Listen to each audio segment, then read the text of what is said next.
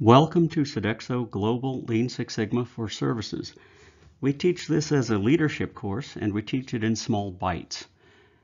If you like the course, click like at the bottom of the screen. If you want to get notifications of future classes, please subscribe to this channel.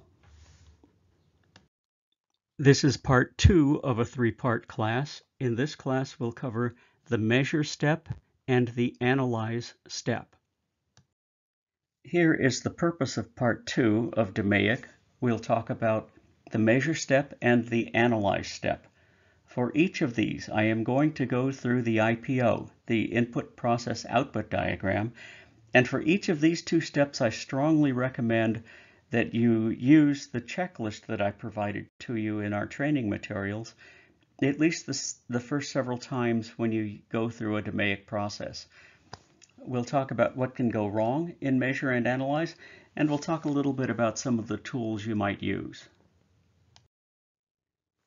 You, have, you may have heard the saying, if it is important, it is being measured. Well, in the measure step, we measure something. You recall in the define step, we gave a snapshot of some occurrence. Uh, at the moment the project began, we had sales of this much. We had a survey response of this amount. We had a temperature of whatever. But we had a snapshot of data, just one data point. In the measure step, we talk about how we got up to that data point and how we're going to collect data throughout the remaining time of the project. We collect data on what we call CTQs, things that are critical to quality.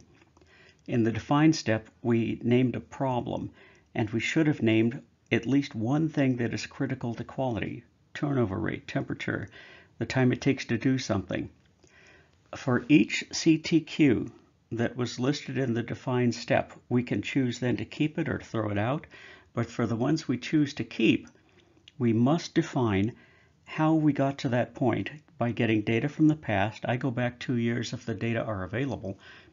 And then I look at exactly how the data were collected to make sure that we're consistent. If we haven't been consistent in the past, we might have bad data if we have not been consistent in the past and we haven't established a method for collecting the data, we, not be, we might not be collecting data very well throughout the project. So we have to define how the data are collected and make sure that we're collecting the data consistently. When we define how we're going to collect the data and what data we're going to collect, we try to not cut it in stone, but we try to stay as stable as possible.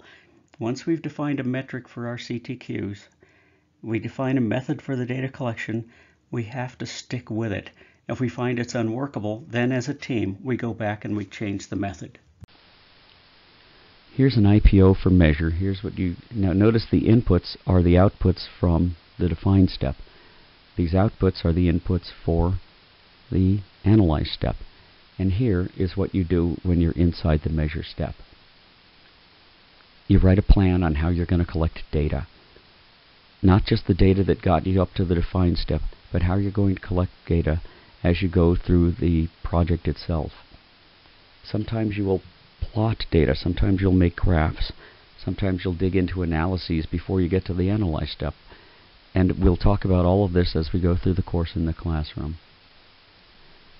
But it is important that you have a good baseline and you understand how everything that you're doing or everything in the process that you're drawing flows value to the client or the customer or the patient. Now notice the outputs. The last one of these is a contract for change. Sometimes when you're doing the measure step, you actually write up a document that says, I'm going to stick with the project until I'm done something to that effect, and everyone signs it. And the reason that you wait to sign a contract for change, just a symbolic gesture, it's not a legal contract, is because people wanted to see, they want to see the metrics before they sign up for something. They don't want to agree that they're going to solve all the world's problems. They want to agree that something finite, something doable, even though it might be a stretch, is what they're signing up to do. So we'll talk about a contract for change, and I'll give you a couple of examples, and there are examples in your book.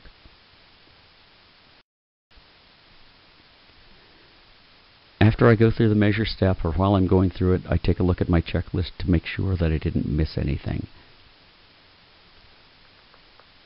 Did I miss defining the, the process? No.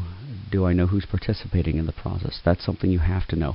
And always include the people that generally aren't included.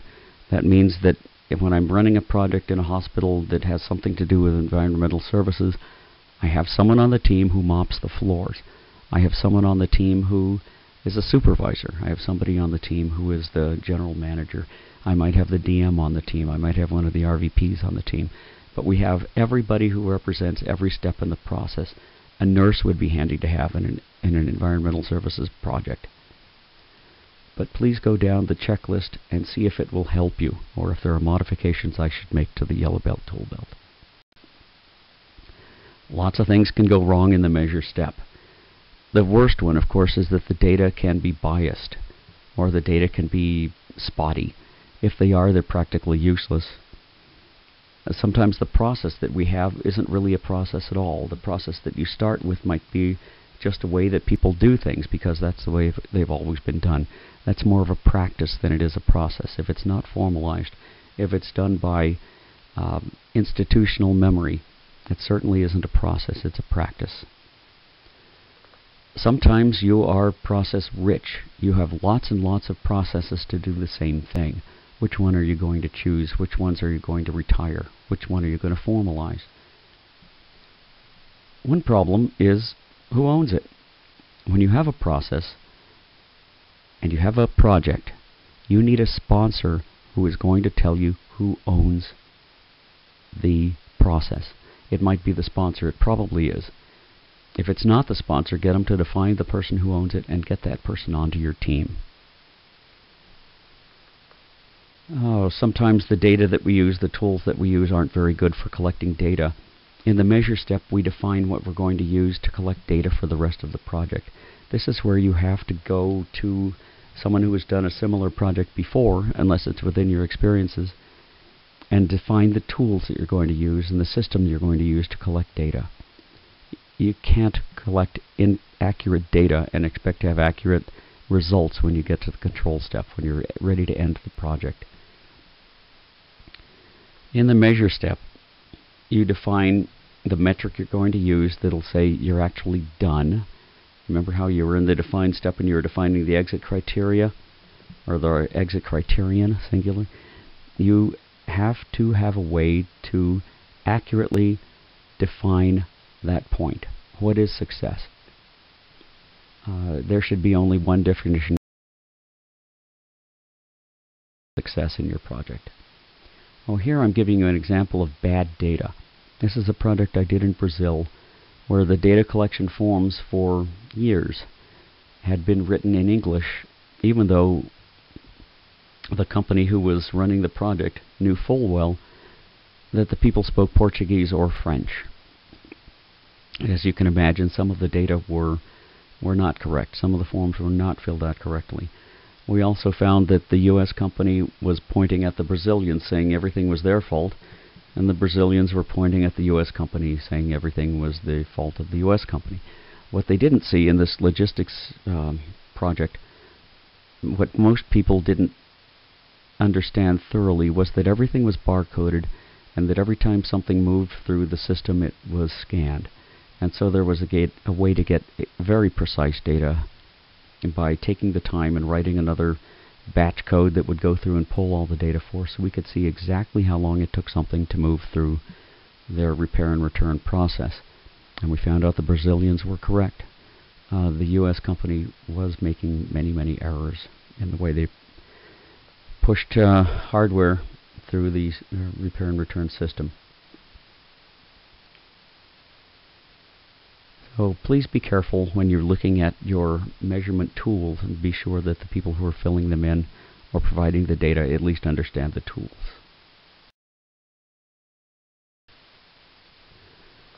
Here's an example. Here are two examples of the contract for change. One is one we did with the uh, United Kingdom Ministry of Defense.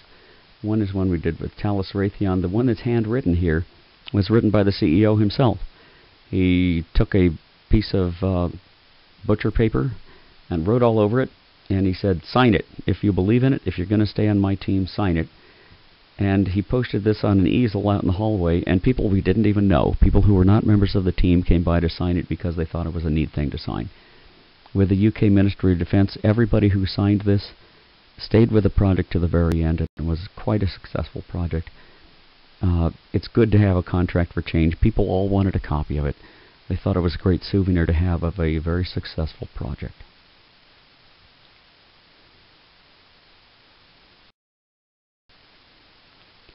Now, what do you do in the analyze step? In define, you define. In the measure step, you measure. In the analyze step, you get to root cause. You thoroughly understand the process, you prioritize faults, and you get to root cause. Uh, if you remember nothing about the analyze step other than you get to root cause, please remember that. Analyze is the step where we have most of our tools. This is where we become very good statisticians or we sometimes fail. Uh, here, we might go into depth on how a process really works. We look at the data, we plot it, we plan it, we project it forward, we figure out exactly what's going on and what we project to go on, and we get to root cause by using, uh, at this level, one of three different ways, one of three different methods, and we'll go into each of these in detail in, in our root cause class. But analyze step is where you get to root cause. Analyze step is also, since you have the root cause, you figure out what the solutions are going to be and how to implement them, and you draft a plan to actually enact your solutions. So in the analyze step, you draft a plan. It's not the final plan, but you at least draft one so that will get you into the next step.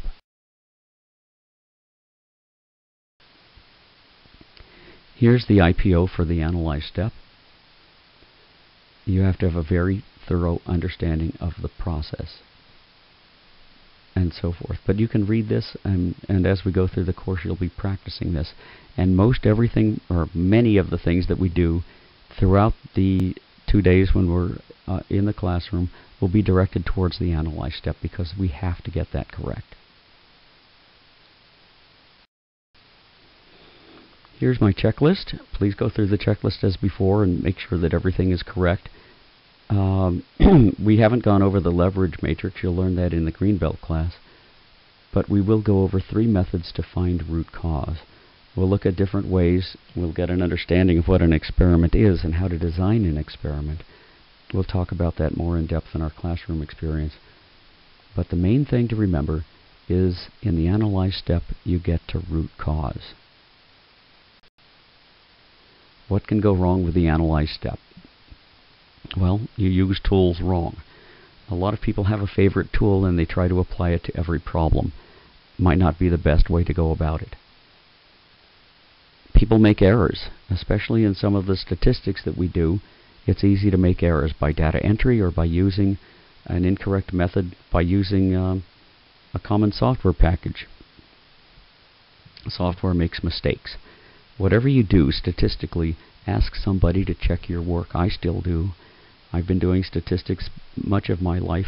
That is many, many years. And I always ask somebody to find out why I could be wrong. Look for my errors. If I don't find any, if the person who looks to check my work doesn't find any errors, I have greater confidence that what I did was correct. In the analyze step, we also come up with solutions, and some of these can be comical. And some of the methods we use to come up with solutions are methods children would use.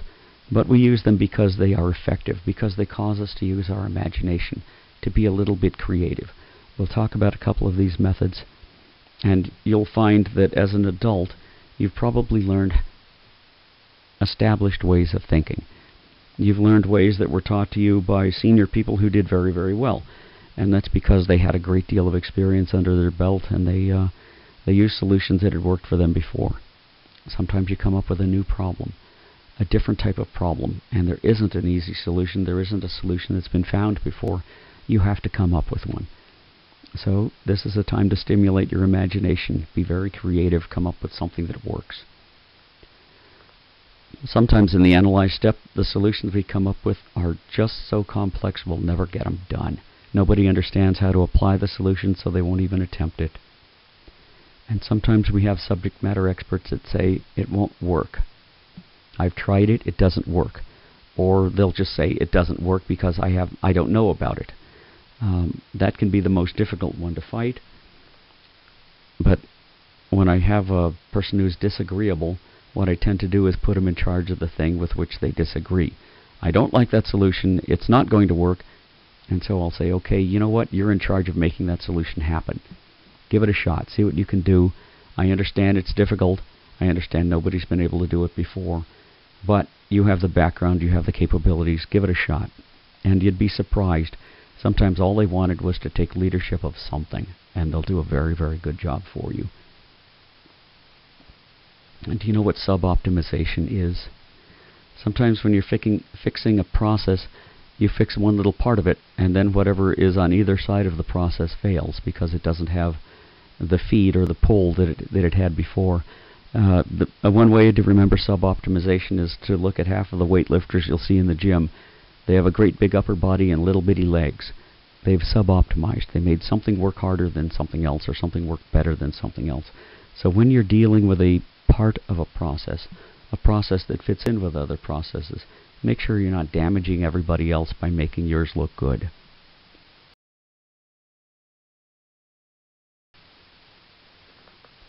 Here I am, a much younger me, working with uh, Boeing Aircraft Company on a project for the V-22 Osprey system. It was a shared process. Boeing owned half of the process. My company owned half of the process. We were having a tough time working together because each one of us wanted to be in charge. So we just put everybody in the room together, and I ran the Lean Six Sigma part of it, but I used the tools that were given to me by the chief engineer from Boeing. That was the only way we could get ourselves to work together, and they enjoyed it. They had a very good time. We came up with an excellent project that cut down and repair and return. You see this mess? It's not really a mess if you if you go through it step by step, but it looks complex. But this is how we repaired and returned parts for the V22 Osprey. It worked. We got it to work better, and we got we cut it down to more. Well, we cut it down by more than 50%. Quite a success when you improve a, a repair and return process. Here's what we talked about in DMAIC Part 2. We talked about the measure step and the analyze step. Now keep in mind, this presentation is a supplement to the book. Please read the book, there's a lot more detail in it. But in the measure step, we talked briefly about how we collect data and describing how we got to the current state, how we're going to collect data consistently from then on out. I did mention, and it's in the checklist, that we should define our as-is processes, that the way we got to where we are, the way we're doing things right now. And I should state that a lot of people think that they have a process when they really don't. They have a way they do something because they remember how they used to do it. And we call that a practice, not a process. And then we talked a little bit about the contract for change. In the analyze step, we talked about getting to root cause. And you know, there can be a lot of problems that lead to the root cause. We have to identify the problems or faults or undesirable effects, UDEs, and we have to find a way of getting to the root cause of each one of these that's associated with the CTQ, something that's critical to quality. In the analyze step, we figure out how we're going to fix things and we draft a plan to get it done. Thank you for attending this Sodexo Lean Six Sigma training. If you like this course, please click the thumbs up icon below the screen. If you want to be notified when additional courses are added or when courses are modified, please subscribe to this channel by clicking the red subscribe button also located below the screen. I wish you the best.